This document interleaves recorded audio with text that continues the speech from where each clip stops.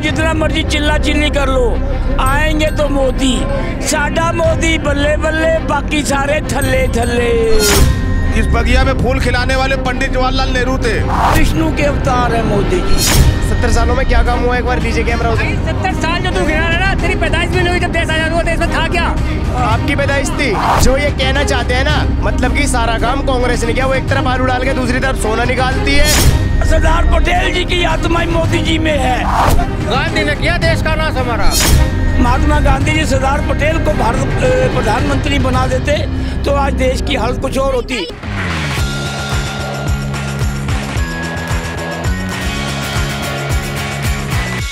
नमस्कार मैं शिखा आप सभी का स्वागत है। भैया जी गजब में एक बार फिर से हम लोग जनता के बीच में आ गए हैं राय लेने के लिए कि 2024 में आखिर वो किसको चाहते हैं केंद्र में? 400 पार के नारे भाजपा लगा रही है लेकिन कुछ लोग कहते हैं कि 400 पार तो नहीं होगी लेकिन भाजपा बाहर ज़रूर हो जाएगी। तो जनता की राय लेना ज़रूरी है। तो क्या कहेंगे सरदार जी? हाँ जी। क्या कहेंगे? 400 पार पे आपकी क्या राय? अभी उनको तो ये बताइए ना कि बिहार में उनके चालीस सीट है उसमें तो उसको सोच होना चाहिए। बिहार में तो टक्कर की लड़ाई है बीजेपी वहाँ से हाथ धो रहा है। बिहार से और यूपी से भी काम खराब हो रहे हैं उनका। यूपी से भी हाँ यूपी से भी मायावती भी बैठी हुई है। ती, तीन तीन चार चार पार्टी उतरे रखे हैं। वहाँ यूपी में भी उनका सीट पूरी बहुमत आने वाली नहीं है। ठीक है एक खातिर ये कह रहे कि ये बोले 400 पार ना ये घाट के पार लगने वाले हैं। जनता बैठाता भी उतारता भी है जनता के हाथ में है। वो कह रहे, मैं सुपर पावर हूँ। वो सुपर पावर तो जनता बनाता है। और मैं, हम लोग दस साल में देख लिया कि क्या सुपर पावर है। जनता को क्या सुपर बना दिया। वो अपने आप को सुपर पावर बन गया। अपने आप की शौक पूरा कर लिया। जनता तो वहीं का वहीं रह गया। अब हम सरदार जी हैं, वो भी सरदार जी हैं। हमें कांग्रेस से अगर हमें चाहत है, यार हम कांग्रेस की काम को अच्छा ही लग रहा है हमारे गाँव में कांग्रेस की ही काम किया है और बीजेपी वाले काम नहीं किया। तो मैं बीजेपी वाले को क्यों नाम लूँगा? इनके गाँव में अगर बीजेपी का समर्थन काम किया है तो बीजेपी वाले का नाम लगा प्रैक्टिकल है। तो हमें उसमें डिबेट लड़ने का ज़रूरत नहीं पड़ता हमारा। हम अपने घर को देख रहे हैं आप अपने घर को देख रहे हैं। ये चीज़ होना चाहिए। ये नहीं कि हम एक दूसरे से लड़ना चाहिए। चाचा कंगना रनौत ने कहा है कि विष्णु के अवतार हैं मोदी जी। मैं भी कहूँगा विष्णु के अवतार है मोदी जी। क्यों? उनका काम हाँ। वो जनता के 140 करोड़ जनता के दिल में बसे हुए हैं। बच्चा बच्चा मोदी मोदी कर रहा है। आज जो कांग्रेस ने 50 साल में नहीं किया उन्होंने 10 साल में कर दिया। लेकिन विष्णु के राम मंदिर राम मंदिर मेरी बात सुनो बेटे मेरी बात सुनो। जनता की भावना को देखो आप।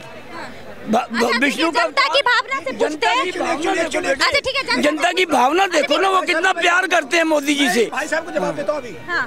भाई साहब को जवाब देता हूँ अभी हाँ 140 करोड़ जनता के दिल में बसे हुए हैं। हैं? तभी पंजाब से चले जा रहे हैं। हैं? तभी हर जगह से जा रहे हैं वो कहाँ से जा रहे हैं? 140 का फिर फिर वो कौन है? वो भारत की जनता नहीं है वो क्या? भारत का जनता है कि नहीं? दिल्ली से नहीं है। भारत का जनता अब अब की पंजाब में भी आ जाएँगे। आप इन, थोड़ा इंतज़ार करिए थोड़ा इंतज़ार करिए। झूठ क्यों बोल रहे आप इसका मतलब झूठा है। आप बोल रहे 140 के दिल में बसे हुए। तो 140 में तो आपके प्रमाण दिखा दिया कि दिल्ली में नहीं है पंजाब में नहीं है और और भी देश में नहीं है। पर दिल्ली में तो सातों सीटें बीजेपी की हैं दोनों बारी। देखिए अभी मैं क्या बोला कल तो हम ताजी महल में जाके सोएँगे कल तो ताजी महल में सोएँगे। जब सो लेंगे ना वहाँ से केट कॉप हो जाएँगे प्लेन से टिकट दिखाएँगे हमें ताज में। तब बोलना पहले ना बोलो सातों सीट है सातों सीट है हो सके एक भी ना मिले। वो तो टाइम बताएगा वो तो टाइम बताएगा। हाँ वो टाइम बताएगा लेकिन हमें उम्मीद है हमें उम्मीद है उम्मीद है कि ज़ीरो देंगे। हमें भी उम्मीद है कि सब हमारे आएँगे आप ज़ीरो रहोगे। उम्मीद है मतलब यू यू इसे उम्मीद पे तो दुनिया टिकी हुई है।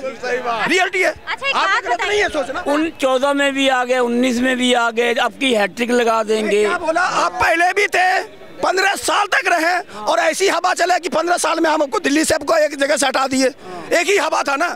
पंद्रह साल तक थे। अच्छा मुझे ये बताइए आप कांग्रेस को इतना सपोर्ट करें ऐसा क्या किया कांग्रेस कांग्रेस सपोर्ट क्यों कर रहे हैं? आपको बता रहे हैं। जिस टाइम अंग्रेज़ गए थे छोड़ के उस टाइम एन बी जी को हमसे तो सीनियर है हमारे पल्ले थे क्या? और उसने एक एक ज़मीन नीचे से लेके हर चीज़ दिया है।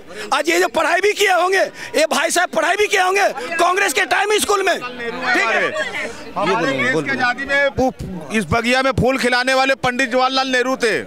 सर एक बात बताइए जो आप कह रहे हैं कि कांग्रेस ने क्या दिया आपको क्या लगता है हम जितनी ये पब्लिक खड़ी है 2014 के बाद ही पैदा हुई? एक मिनट एक मिनट। आप आप सीनियर हैं मैं आपकी बात को मान नहीं नहीं।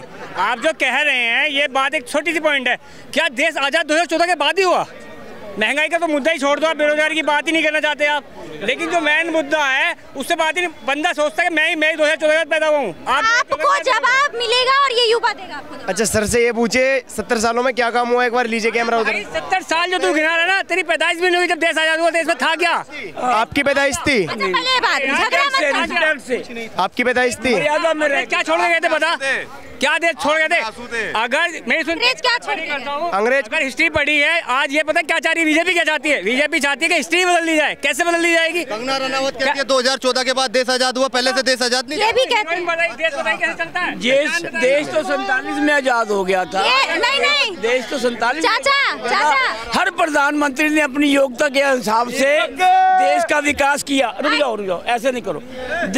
हर प्रधानमंत्री ने अपने हिसाब से देश का विकास किया।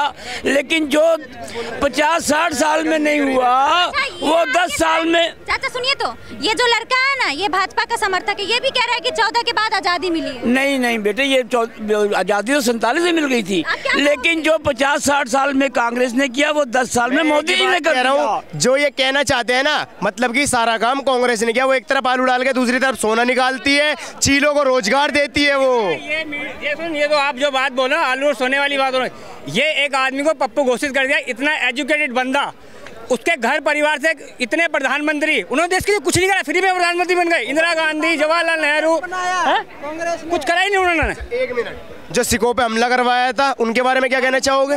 आपने बात अभी आज़ादी की बात की इसमें सिख बोलेंगे। इसमें सिख बोलेंगे इसमें सिख एक मिनट एक मिनट इसमें सिख बोलेंगे। नेहरू जी नेहरू जी जब नेहरू जी आज़ाद जब देश आज़ाद हुआ तो सरदार पटेल को चौदह वोट मिले और नेहरू जी को एक वोट मिली।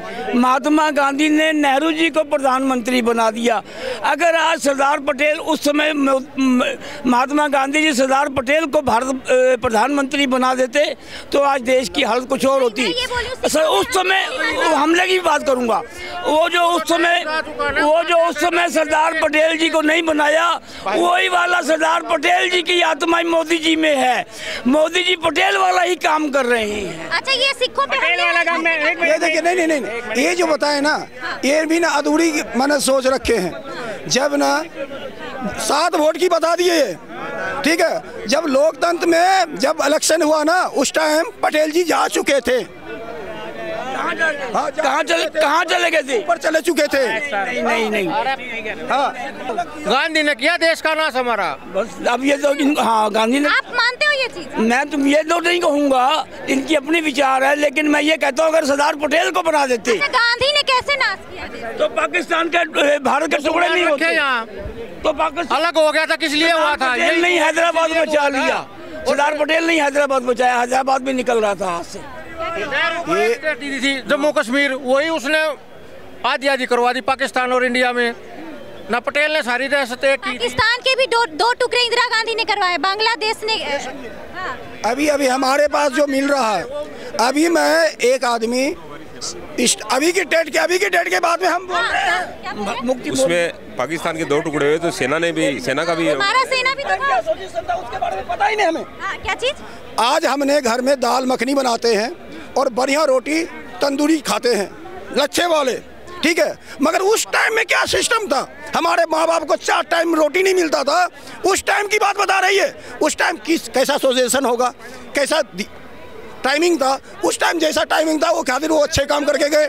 आज आज आज शाही पनीर खाने वाले के जो टाइम आ गया है उसमें भी आदमी भूखा रह रहा है। तो बेटा रात गई बात गई। उसको क्यों जब रात गई बात गई तो उसको उठाते क्यों हो? देखिए आज के समय में एक दूध की थैली दस रुपए की है और उस पे जीएसटी लगा हुआ है। इससे ज़्यादा और गिरी हुई हरकत क्या है? कौन सी कंपनी ने? देश ऐसा बर्बाद हो रखा है इसको कोई कुछ नहीं कह सकता। देश इतनी प्रगति कर रहा है वो नहीं दिखाई दे रहा। देश कितनी मोदी ने कौन सी कंपनी ने पैसे दे दिए मोदी को? वो कुछ भी करो और कुछ नहीं। वैक्सीन कंपनी दे दिया जो कोरोना काल में कोरोना काल में इंजेक्शन वो दे रहा पाँच सौ करोड़। ले रहे हैं शराब घोटाले में देख लो। जिसने ठेका लिया शराब घोटाले का जिसने काम किया वो बाहर है। वो बाहर है। जिसका सबूत नहीं अब आप लोग जितना मर्ज़ी चिल्ला चिल्ली कर लो। आएँगे तो मोदी। साडा मोदी बल्ले बल्ले बाकी सारे थल्ले थल्ले आप लोग तय कीजिए। ना। जब मोदी जी आगे तो घर बैठे ना क्यों इतने फड़फड़ाहट मची है? उन्होंने कुछ कहा है कि साडा मोदी बल्ले बल्ले। वो मैं क्या बोला? वो है सारे थल्ले थल्ले। उन्होंने सब मैं क्या बोला? वो है तो खुद थल्ले थल्ले। वो मोदी कहाँ होगा बल्ले बल्ले? वो खुद ही है थल्ले थल्ले। थैला पकड़ रखे देख लो मोदी वाला। थल्ले थल्ले है कि नहीं? क्या कहें आपको मैम यार? कुछ एक परसेंट तो सिखों में भी ऐसा है थल्ले थल्ले। बाकी सब है बल्ले बल्ले। हाँ साकी बागे है सारे बल्ले बल्ले। ये चीज़ तो मैं कह सकता हूँ। खालिस्तानियों को बोल। नहीं नहीं ये गलत बात है। ये आपका गलत खालिस्तानी कोई देश है? है? अगर ये खालिस्तानी हमें कहते तो गुरुदेव बहादुर भी खालिस्तानी था। है? बोलता है वो भी हिंदू मैं साथ रहता हूँ।